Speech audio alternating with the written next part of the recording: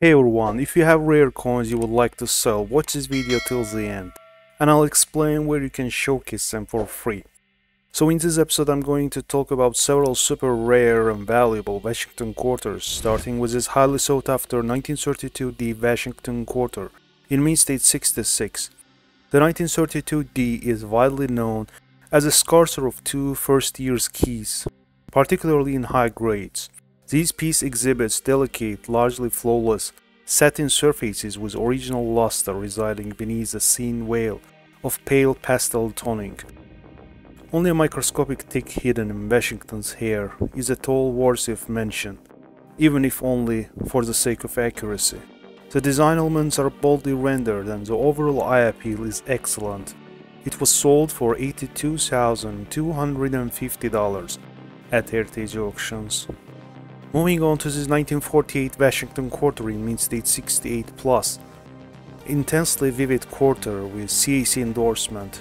This captivating superb gem really needs to be seen to be fully appreciated. The obverse is exceptionally vivid with full endowment of intense steel lilac, salmon pink and golden olive iridescence. The reverse is largely silver tinged yet enhanced by nearly complete halo of crimson orange iridescence around the periphery. Certain surfaces are fully frosted and finished, and temptingly close to numismatic perfection. It was sold for $43,200 at Stack's Bowers auction.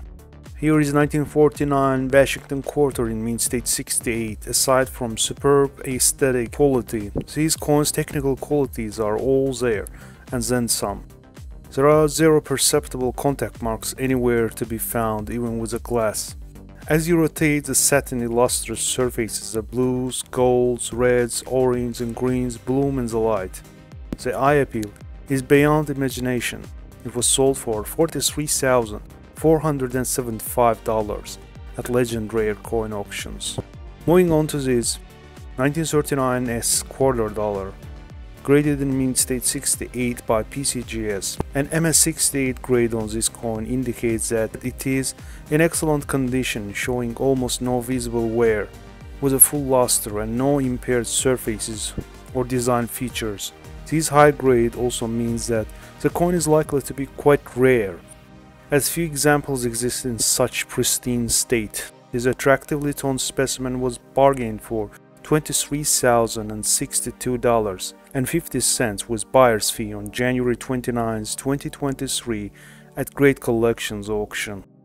Jumping onto this 1943 Washington quarter with double obverse, graded in Mint State 66 by PCGS and proven by CAC. There are few double die varieties known for the 1943 Washington quarters. Doubling is evident on the date and all letterings and is especially visible on In God We Trust. This premium gem has frosty silver luster and hints of champagne toning on obverse with brilliant untoned reverse. It was sold for $17,400 at Heritage Auctions. Here is 1966 Washington Quarter in Mint State 68 Plus. The 1966 Washington Quarter is very common especially since over 800 million of them were struck. Examples in circulated grades can still be found in circulation. Even examples in about MS60, MS63 condition can also be found in circulation according to Jaime Hernandez from PCGS.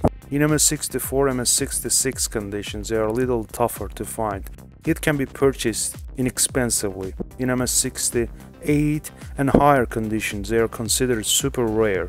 This particular specimen was bargained for $12,937.50 with buyer's fee at Great Collections auction.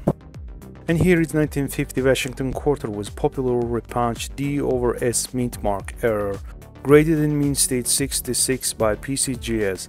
This important guidebook variety is much rarer in better mint state grade than its 1950 S over D counterpart. The upper loop of the S emerges above the over mint mark D. The minor strike doubling on the Denver mint mark is usual for the variety, as is a slender horizontal die break on the eagle's head. It was sold for $16,450 at Heritage Auctions. Thanks for watching guys, don't forget to hit the like button.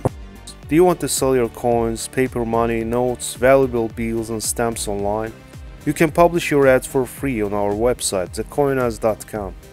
For mobile users, it's much easier publishing coin ads using our Coinads app.